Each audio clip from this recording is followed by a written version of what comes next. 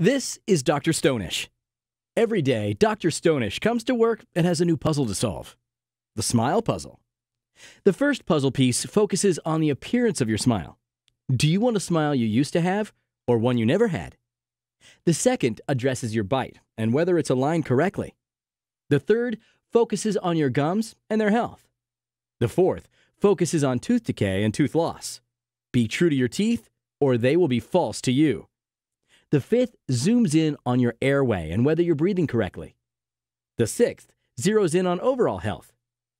Once these six pieces are evaluated, Dr. Stonisch compiles a report card for you and a plan to obtain optimal oral health.